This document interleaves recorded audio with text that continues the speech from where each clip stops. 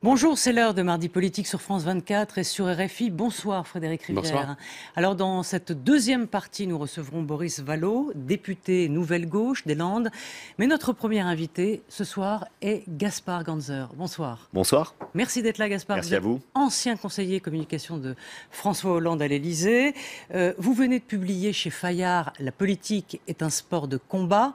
À vous lire, on est épuisé, lessivé, un peu comme vous quand vous quittez ce job, vous l'écrivez euh, dans l'avant-propos, vous avez vécu tous les drames et les périls, les tragédies de la nation avec euh, bien sûr les attentats, les interventions militaires euh, au Mali, les scandales politiques avec euh, Cahuzac, les scandales personnels avec l'affaire Julie Gaillet et Trier-Villers, le pilonnage des frondeurs et l'assaut final avec la montée en puissance d'Emmanuel Macron et bien sûr votre patron qui prend son ultime décision, celle de ne pas se représenter à la présidentielle. Donc c'est écrit comme un journal, c'est vif, c'est rapide, c'est comme vous, c'est nerveux, et ça se lit comme un roman euh, politique. Tout ce que vous, vous écrivez, euh, est-ce que ça ne devait pas, dans le fond, rester secret?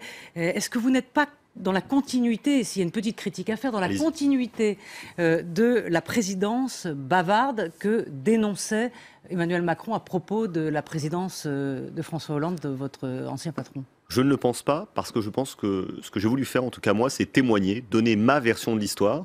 Je n'ai euh, trahi aucun secret, euh, j'ai pas touché au secret défense, aux affaires diplomatiques, euh, parce que ça concerne la sécurité nationale, la défense de notre pays. En revanche... Mais ça, appartient au quinquennat, bien sûr. J'ai voulu raconter une histoire euh, d'hommes et de femmes politiques qui se sont affrontés, combattus, parfois pour des idées, parfois pour des questions d'ego.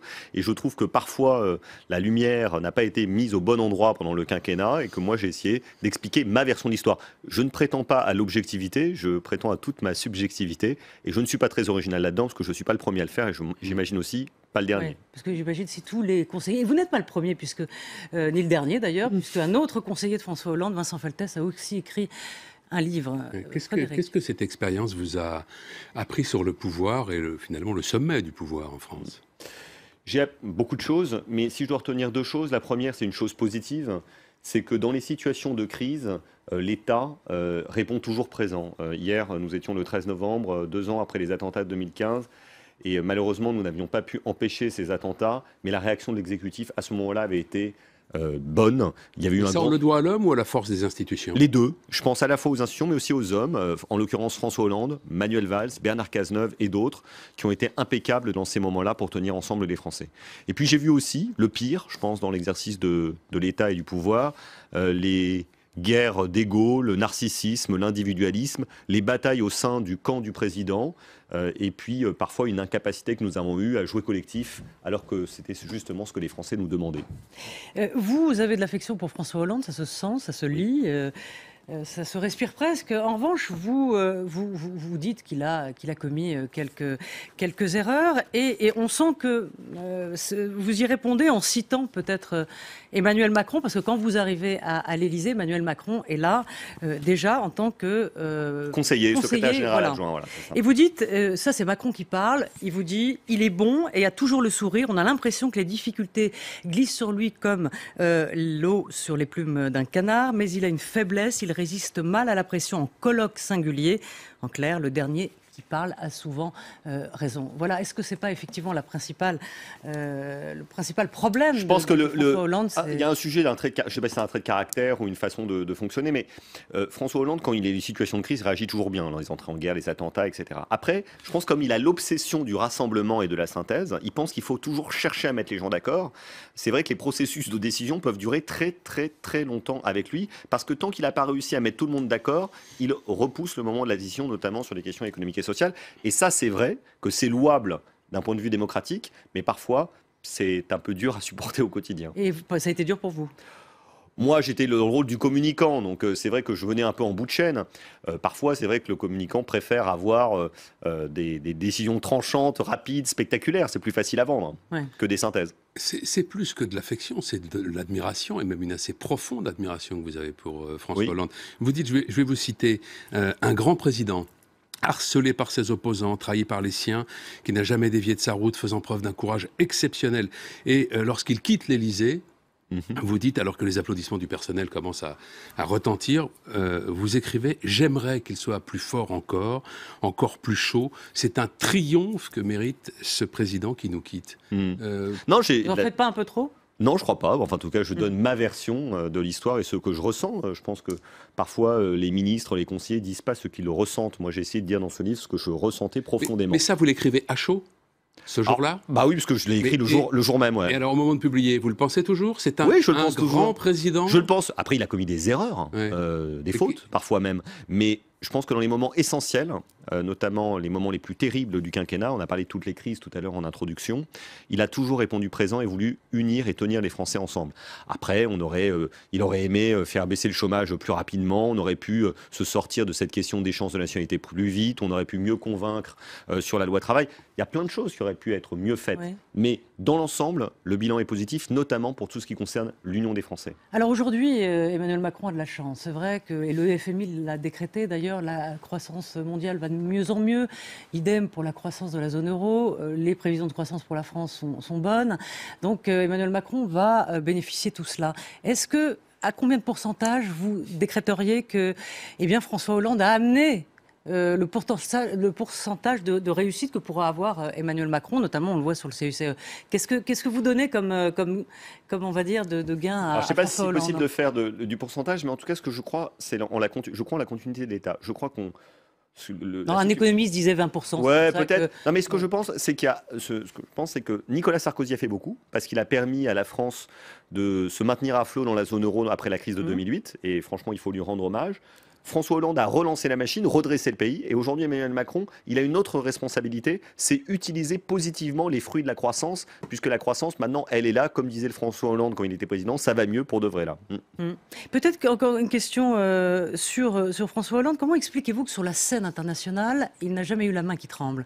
Et sur euh, la, politique française, il a toujours, on va dire, louvoyé. Mm. Comment Est-ce que c'est le, le vicomte pourfendu comme le, Ah oui, de Italo Calvino, très, très, bon très, très bon bouquin voilà, et c'est un peu ça, François Hollande. et d'ailleurs, Puga le dit, le général Puga hmm. vous le dit, il dit, vous verrez, il a la main qui tremble pas. Non, c'est vrai. Sur l'international, je pense que c'était lié au fait que peut-être on touche aux intérêts fondamentaux de la France, mais aussi qu'il était le seul à décider, au fond. Et donc, euh, ah. c'était plus facile de trancher. Alors que sur le plan intérieur, il fallait composer avec une majorité euh, turbulente et il n'a pas su trouver les moyens d'imposer toujours sa volonté à cette majorité. Peut-être aussi parce que l'image d'un président ne se fait pas dans sa politique internationale. Peut-être aussi. Euh, d'ailleurs, je pense que les, quand on est président de la République, on est souvent aspiré par les affaires internationales. Je le dis à plusieurs reprises dans le livre. Je, le président a consacré beaucoup, beaucoup de temps, peut-être trop, d'ailleurs, euh, à son agenda international, alors que les Français l'attendaient d'abord sur la scène intérieure. Est-ce que vous croyez que l'histoire va lui rendre raison, euh, va reconnaître son bilan? Parce que, et vous le dites, c'est quelque chose de quasi obsessionnel chez lui, la trace qu'il laissera. Je crois que les hommes politiques euh, sont souvent obsédés par trois choses. Un, leur élection. Deux, leur réélection. Trois, la trace qu'ils vont laisser dans l'histoire. Et la, le troisième élément est finalement le plus important pour eux. Qu'est-ce qui restera d'eux après leur mort? Et on a tous d'ailleurs cette euh, obsession-là. Euh, et eux plus que tous parce que ce sont des hommes démultipliés.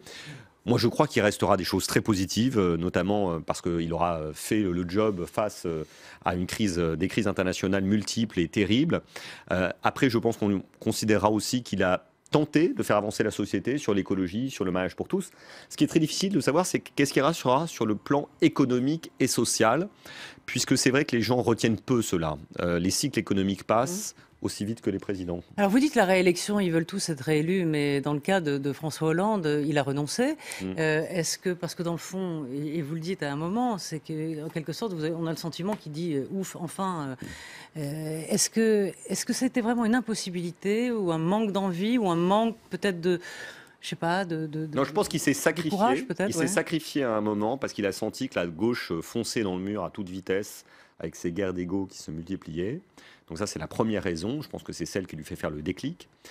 La deuxième, c'est que je crois qu'il fait y avoir une lassitude. Euh, après avoir subi toutes ces épreuves, avoir tenu le choc, de devoir affronter des gens dans son propre camp, c'était trop pour lui. Alors dans ce livre, il y a des, choses graves hein, que, vous, relatez dans le récit des attentats, bien évidemment, mais des anecdotes aussi qui auraient in vivo euh, fait le délice des, journalistes euh, s'ils l'avaient su. C'est la rivalité entre Valls et Macron. Bon, on le savait. On l'a deviné quand même. On l'a deviné, non mais bien entendu. Mais le, ce qu'on apprend, c'est que le, Premier ministre surnommait Macron le microbe ou le macaron, euh, alors que vous racontez qu'au début, les deux hommes s'apprécient. Euh, selon vous, comment, pourquoi il, cette rivalité commence? Parce que vous pensez que Valls comprend qui est Macron? Je pense qu'au début, ils s'entendaient très bien tous les deux. Parce qu'il y avait mhm. une proximité euh, idéologique, presque générationnelle. Ils étaient alliés, incontestablement. C'est Manuel Valls qui propose le premier à François Hollande qu'Emmanuel Macron rentre au gouvernement en mars 2014. Euh, Après, je pense que Manuel Valls a vu l'ambition de son ministre et il a compris, peut-être avant les autres, que Emmanuel Macron visait l'Élysée dès 2017 ce qui a peut-être suscité son courroux et sa méfiance. Quand vous parlez de Manuel Valls dans votre livre, on a l'impression que c'est un homme qui est perpétuellement en colère, toujours les mâchoires serrées, c'est l'expression qui revient, souvent le, le rouge aux joues. Euh, c'est ça, Manuel Valls C'est un, un homme en colère? Ce qui est paradoxal, c'est que pendant les phases les plus graves, c'est-à-dire les attentats, Manuel Valls a été d'un sang-froid exemplaire. Il a été vraiment parfait et je n'ai rien à redire dans son attitude à ce moment-là. Il, est, il a vraiment euh, aidé le président et euh, protégé les Français à ce moment-là. Le paradoxe, c'est que dans, pour des situations beaucoup moins graves, qui touchent plutôt à la politique politicienne, il semblait euh, comme pris par une colère qui le dépassait. ce qui est évidemment contrasté avec François Hollande, qui pour le coup, lui, riait de tout, surtout du petit théâtre politique qui anime Paris et la France entière. Est-ce que Manuel Valls serait resté euh, fidèle à, François Hollande sans le livre mm. dont on va parler, ce fameux livre Un président ne devrait pas dire ça Ça, je ne sais pas, vous lui poserez la question. Qui est, qui, est, une déflagration terrible. Ah oui, ça c'est sûr. Ça crée un, passage le, important. Le moins qu'on puisse dire, c'est qu'on ne l'ait pas vu venir.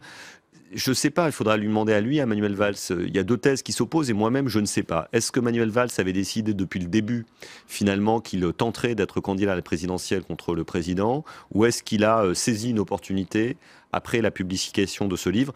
Euh, moi, je ne suis pas le porte-parole de Manuel Valls, c'est lui qui peut vous y répondre.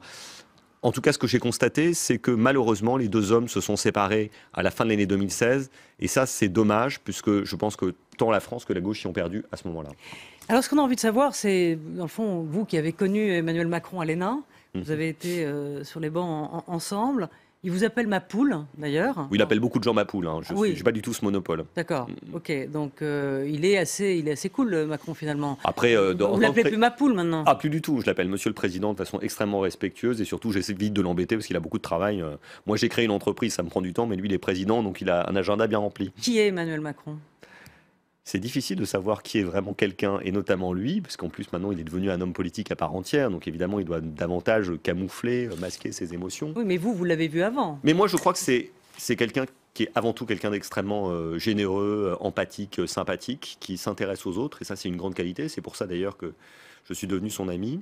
C'est aussi quelqu'un qui a une ambition et une audace exceptionnelle, qui tranche avec, avec son époque. Et donc il mêle les deux, une audace exceptionnelle et une empathie incroyable. Il a aussi des défauts, euh, comme tout le monde. Il a trahi François Hollande? En tout cas, il lui a manqué à un moment. Il a rompu avec lui. moi... Il l'a trahi. Enfin, vous, vous employez le terme. Vous oui, bien trahison, sûr. Hein. Bien sûr, je pense que c'est une vous parlez de trahison, vous parlez de coup de poignard, vous parlez d'une immense déception pour vous qui, qui, un moment ne vous quittera jamais, dites-vous. Oui, oui c'est un, un, moment extrêmement dur euh, pour nous tous, parce qu'en fait, c'est de l'ordre presque de la rupture politique, bien sûr, mais aussi la rupture affective. du parricide? Oui, après, j'évite d'utiliser ce genre de termes qui sont quand même disproportionnés, mais je, en tout cas, ça a été très dur. Et sur le moment, moi, je lui en ai voulu beaucoup personnellement. Après, ex post, comme on dit, a posteriori, euh, j'ai compris pourquoi il l'avait fait. Et surtout, ça nous a permis d'éviter que le Front National l'emporte. Finalement, c'était pas si mal. Est-ce que, euh, est que, comme dans les tragédies grecques euh, ou même romaines, est-ce que, euh, est-ce qu'il faut tuer le, faut tuer le père Est-ce qu'il faut tuer en politique pour réussir? Est-ce que c'est le passage obligé? Vous qui connaissez à la fois le, pouvoir de, de, de près. J'aimerais vous répondre non. Euh, après, souvent en pratique, euh, malheureusement, euh, c'est le cas. On a l'impression que c'est hein, Chirac et Chirac, et Chirac et Sarkozy, Chirac, et, voilà. et, Giscard, etc. Non, c'est vrai que c'est souvent le cas. moi, après, il y, y, a des quelques personnes qui arrivent à organiser positivement leur remplacement ou leur succession. Et moi, vous savez, j'ai une admiration sans limite pour euh, Bertrand Delanoë, pour lequel j'ai travaillé pendant plusieurs années.